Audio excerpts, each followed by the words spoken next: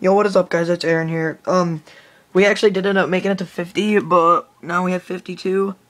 So, um, yeah, I think this is our actually last round or whatever, because, um, because, um, I don't really, because I don't have, uh, freaking, what's it called? Uh, we don't have a lot of points, uh, before we didn't though, really, but I ended up training the zombies up, and then I ended up getting, like, at least, like, 40,000 points, and then I ended up making it to, um, we ended up making it to around four, um, 52 right now, but I think 53 is probably our last round.